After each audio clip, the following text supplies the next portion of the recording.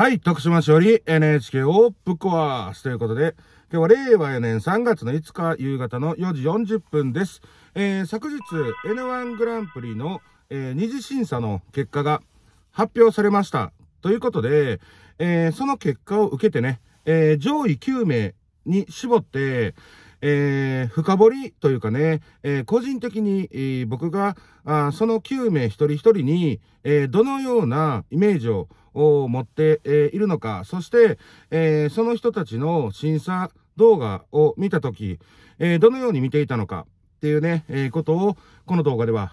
喋ってみようと思います。えー早速いきます。えー1位の湯山真也さん。えーまあ、この方はね、えー知る人ぞ知るアウトロー系 YouTuber として、えーすでにね、インフルエンサー活動っていうのを、えーされてる方です。で、今現在はね、えー引っ越し作業中ということで、えー YouTube のチャンネル自体は、あ休止、えーされております。えーやめたわけではないけど、えーもろもろ落ち着くまで、えーお休みしますっていう風なね、タイミングで、まあ、今回の N1 グランプリにえー参戦されている方なんですけども、えー非常にね、えーインフルエンサー同士の横のつながりっていうのもフランクに持たれている方で、えー、湯山さんのファン、えーっていう方はもちろんですけど、その湯山さんと仲のいい、えーインフルエンサー仲間の皆さんのファンっていう方たちも、えー湯山さんの動画を再生したり、まあ投票されたりっていうね、えーところで、非常に最初からね、えー再生回数も、伸びて、えーいたなというふうな感じです。で、えー獲得した再生回数が42,156回と、さすがやねっていうところなんですけど、ちょっとね、僕が気になったのが、投票数40。ね。えー僕はね、もっと湯山さんは、あ投票、得票か。ね、取れるって思ってましたね。なんで、この40っていう数は、あのーこの全体で見るとトップだし、多いとは思うんですけども、湯山さんのポテンシャルだったらもっと、うーん、1000円でね、購入して、えー投票してくれる人がおるんちゃうかなっていう僕は予想してました。けどまあ十分ね、それでも、あのーダントツトップなんで、えーすごい結果なんですけど、もうちょっと得票数伸ばすんかなとはちょっと思ってました。はい。じゃあ次、2位の、早水はじめさん。早見ですね。えーこの方、おそらく知らない方の方が圧倒的に多いと思います。で、えー僕はね、N1 グランプリが始まる前から、あ知り合いでした。で、大阪在住の方なんですけども、えー再生回数が74,887回。で、えー投票数が19票というところでね、まあ本人に、えー話をしてないので、えー定かではないんですけども、おそらく広告を回されたんだろうなっていう風な、あ感じはします。えー YouTube をね、えー長くやってるとわかるんですけども、7万回とかね、えーまあ1万回を超えるような、あ再生回数っていうのは、そうそう取れるものではありません。ので、おそらく、しっかりお金を使ってね、広告を回されたのかなっていう風な、あ印象です。で、まあちょろっとね、僕ツイッターでは書いたんですけども、えーその広告宣伝をすることで再生回数を増やす行為っていうのは、あの、この N1 グランプリにおいては、僕は必ずしも悪ではないというふうなあ見解です。で、もちろんね、ルール上も、まあ、若干後出し感はありましたけど、広告を回すことに関して、えー違法というか、ね、ルール上ダメではないっていうのが、まあ、後から出てきたんで、まあ、それを知ってたらね、えーもっと早くからやってたよっていう人もいたかもしれませんけども、まあ、ルール上まず問題がないということと、広告を回すっていうことは、ね、この早水はじめさんの動画っていうのが、より多くの人に、えー広告として、えー見てもらえる可能性が高い。ということは、NHK 党の、の N1 グランプリっていうものの認知度も上がるし、ひいては、あ、国政政党の NHK 党ってそんなことしてるんだっていう、えー不特定多数の人にね、えー勝手に候補者がお金を使って宣伝をしてくれる行為なので、まあまあ、N1 グランプリ自体が僕はマーケティングだと思ってるので、その中で候補者が、あ枝分かれしてるね、候補者たちが勝手にマーケティングをしてくれてるっていう風な感じで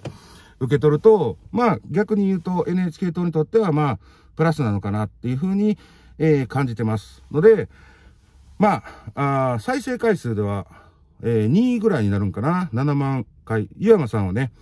えー、抜いてますよね。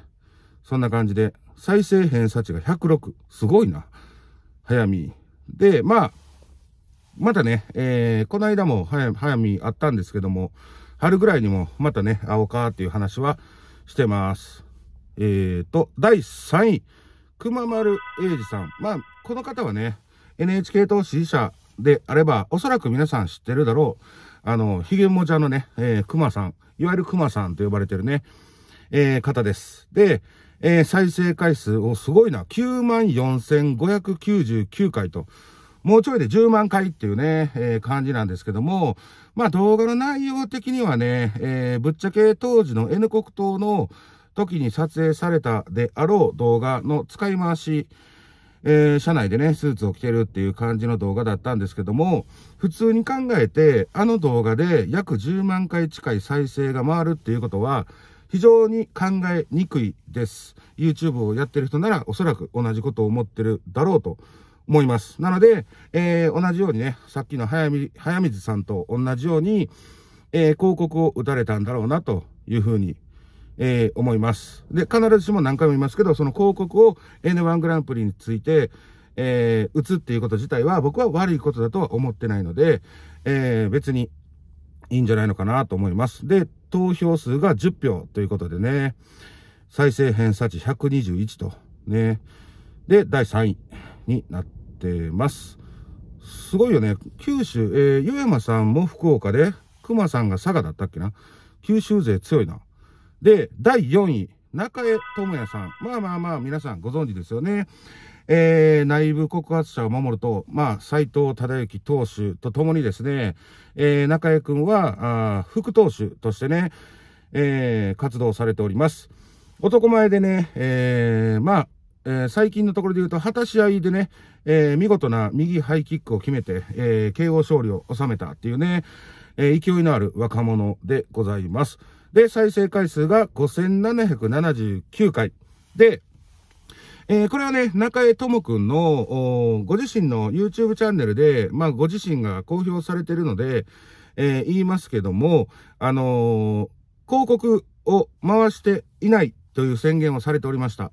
もうそのまま普通に、えー、皆さんにナチュラルに見てもらった回数だと。で、5779回。まあ、妥当なところかなと思いますね。で、投票数が35票。これすごいですよね。投票数が、あ湯山さんがトップで40票のところに、もうちょっとで、えー、追いつくっていうぐらい投票されていると。で、えー、なんか20票ぐらいは、えー、ともくんの関係ですでに組織票じゃないけど、まあ地盤的な感じでね、えー、票が入ることは見越していたと。なので、えー、それプラスアルファ、あ15票ね、えー、ともくんに、えー、入れてくれた人がいいて、それで35票になったんです、みたいなことをね、えー、動画でおっしゃってました。はい。で、次が、第5位かな。あ千原博さん。えー、再生回数が4442回で、投票数が30票。ね、えー、この方は、えー、昨日の定例会見にもね、えー、実際現場におられたみたいで、えー、立花投手はじめ、えー、黒川幹事長、またはその会場にいらっしゃった皆さんからね、えー、拍手で称えられていたっていうね、千原さんなんですけども、えー、この方も、えー、僕のズームにもね、えー、参加をしていただいたり、え、して、本当にね、はつらつとしたあ青年、青年？うん、かなと思います。で、まあ、おそらくね、再生回数も4000回台ということで、そんなに言うほど高くないので、まあ、広告とかを回さずにナチュラルに行かれたのかなと思います。えー、山崎愛子さんが第6位ですね。えー、愛子さんが5462回、投票数が28と。で、まあ、山崎さんもね、えー、僕のズームに参加していただいた一人ではあるんですけども、えー、このね、えー、昨日の段階で夕方、僕がね、速報っていう形で、ツイッターでね、えー、二次審査の結果出ましたよっていうのをツイートをボンとしました。で、立花さんもそれをリツイートされて、山崎さんもそれを見ました。で、どんなタイミングで見たのかっていうところなんですけども、えー、なんと、昨日山崎愛子さんは、えー、ホリエモンのイベントの司会をされておりました。で、その合間なのか、司会の空き時間なのかわからないですけども、僕のツイートをたまたま見たみたいです。で、えー、6位に自分の名前あるやんっていうことに気づいて、マイクを持ったまま、そのまま叫びたくなったけど、我慢したっていうふうなことをね、あの、おっしゃってました。えー、女性の社会進出を訴えられてる、まあ、えー、べっぴんさんですよね。そんな感じです。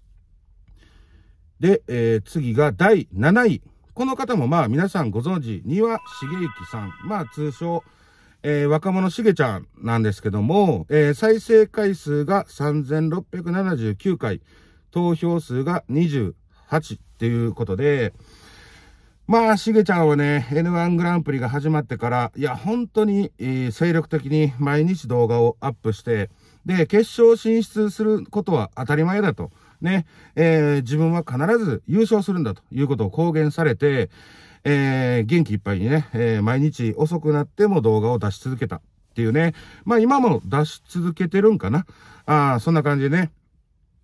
えー、もともとの NHK 党支持者の皆さんからも、多くの支持をおそらく集めているであろう。しげちゃんですね。ただね、えー、しげちゃんの審査動画、あのー、早送りで、えー、やってたんですよね。個人的にはね、個人的には僕は早送りはせん方がいいかなとは思います。その5分だったら5分の中で、いっぱい言いたいことあるけども、5分の中で、このナチュラルに喋ってまとめた方が聞いてもらいやすいかなとは思いました。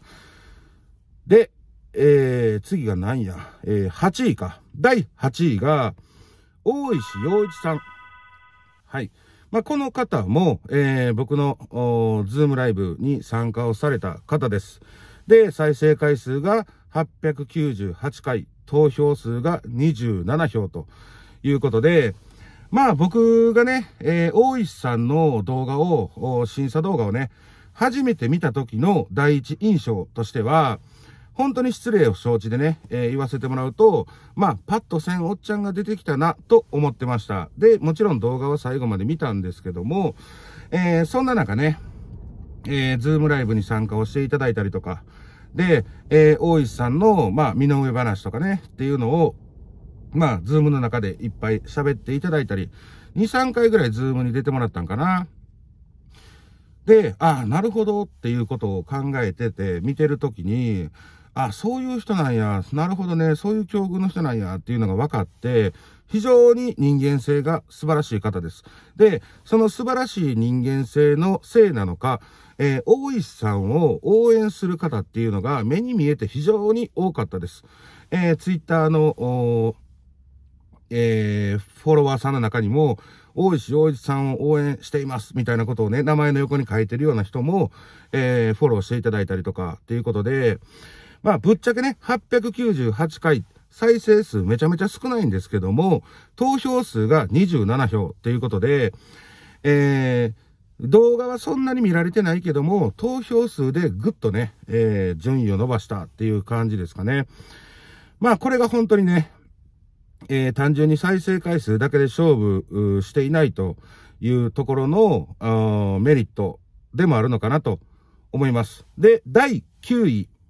えー、石戸ひろみさん。まあ、あ僕がね、えー、N1 グランプリのその審査動画を全部見た後に、えー、個人的に自分があ一番いいと思った候補者、その当時ね、その当時直感的に思った人は石戸ひろみさんですっていうことを、まあ動画の中でね、えー、発言させていただきました。